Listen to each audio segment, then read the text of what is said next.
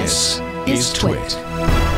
We didn't really talk about this, but I don't even, I'm not even sure when this was announced. A month or so ago, Lenovo announced something called the Think phone, right? Which was a ThinkPad styled smartphone with a red button because, you know, ThinkPad. And it's an Android handset, as you would imagine. But what they talked about at the time was some Microsoft partnership that was going to lead to some interesting Microsoft 365 slash Windows 365 experiences. And one of them has they've just kind of come clean on this. This is now available. It's it's got an awkward name. It's all caps. Enhanced Windows 365 app experience for Android. And what this is is it's not an app. It's something that gets integrated into the operating system. It's only available on the ThinkPhone for now, but it is coming to other Android phone makers. And what the what this phone does is what a lot of phones have done in the past, right? The Samsung flagships do this. The Windows phone uh, phones used to do this, where you can connect it to a USB-C dock, or these days it would be like a, a display that has a USB-C dock in it, and then a keyboard and a mouse, and then you get this full screen experience, and you can use it sort of like a computer. The the way that Samsung does it is they have a, an environment called DeX that they've created that's separate from Android. That has nothing to do with Android the way that Microsoft did it back in the day was actually pretty cool, although it didn't last, which was they also had their own desktop environment because UWP apps at the time would work between Windows 8 or 10 or whatever it was and Windows Phone would be the same app. So if you use the app on the phone, you get the phone app. If you use it on a big screen, you get the kind of full screen, you know, desktop style app. Um, that lasted about two seconds, but it was a good idea. Hmm. um, so for this thing, Microsoft 365, of course, is that cloud PC concept. This is Microsoft's Windows desktop in the cloud as a service.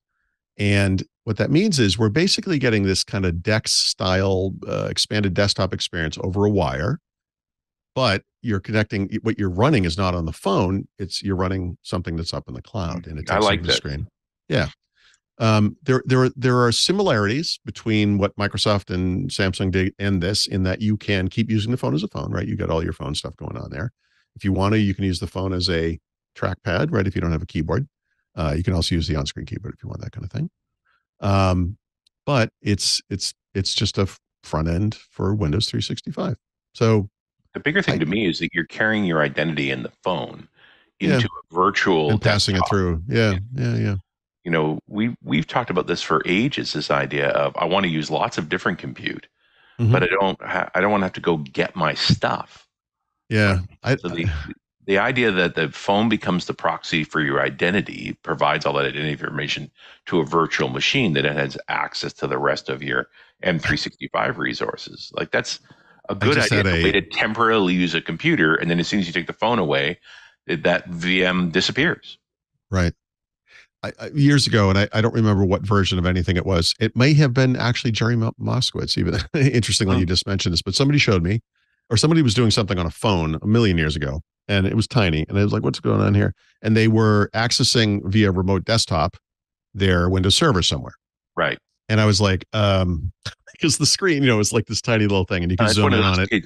Just because I can do this doesn't And I, well, that's why I said, I said, what are you doing? Like, what is the point of this? And it's like, look, obviously this is not the greatest way to do this, but at least I can do this. And that's better than not being able to do it.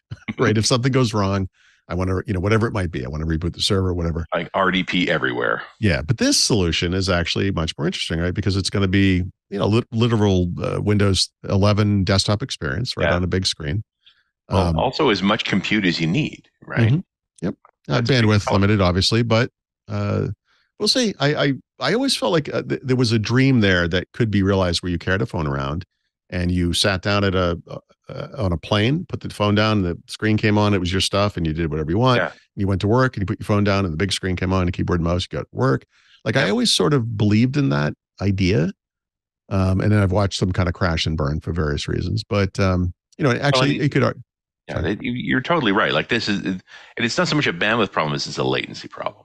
But yes. you know, yeah, yeah, this yeah. comes back to all of the virtual desktop stuff. Right. That's you, right. You're you're typing on a machine that's nowhere near you. So mm-hmm. you know, how is that going to behave? Still easier this, problem than gaming. Um, yeah, yeah, so, fair. But you know. the fact that you have M365 on your phone, which means you have M365 console that's inherently in the mm-hmm. cloud, and now mm-hmm. you can ha- harness a, a virtual machine, essentially a virtual desktop, to provide additional access to that. Right. Like it, it solves a ton of problems for doing that. Like yeah. now, think of this from a hot desk office perspective. Right. right? We, we used to have a bunch of other ways to pull your profile into different machines for hot desking. This is a way better way to go about this. Yep.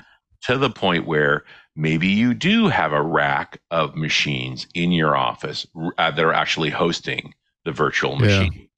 Even So in that uh, latency. I don't know what happens here. I mean, I, I'm just inventing things now, but I, I, having worked in the education space, I mean, the notion of wiping out a classroom of PCs back in the day Yeah. after a class left was a nightmare.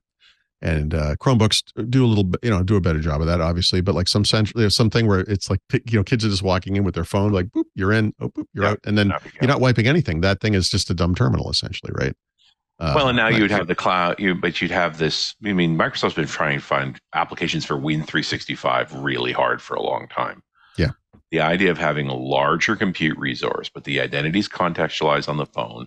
You can run it in the cloud, or you could run it on prem, maybe in a machine that's managed by Microsoft effectively. Like this might be exactly the product for the post-pandemic office where everybody's hot desking. Yeah. Yeah. Now, of course, it has to. Uh, this is super early days. So, um, who just asked me if I remembered Windows? Come on. Hmm. the book about this. anyway, um, yeah, I remember it. Anywho, um, I mentioned it. I didn't say the name of it, but Yeah. uh, yeah, I, I, I, this makes sense to me. The the issue is, uh, it's only on one phone, right?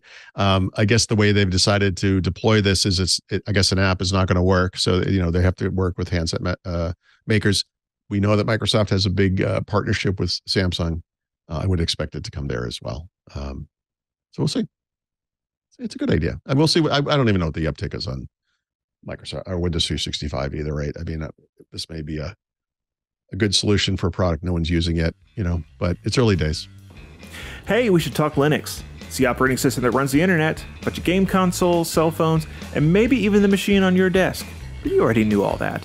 What you may not know is that Twit now has a show dedicated to it, the Untitled Linux Show. Whether you're a Linux pro, a burgeoning sysadmin, or just curious what the big deal is, you should join us on the Club Twit Discord every Saturday afternoon for news, analysis, and tips to sharpen your Linux skills. And then make sure you subscribe to the Club Twit exclusive Untitled Linux Show.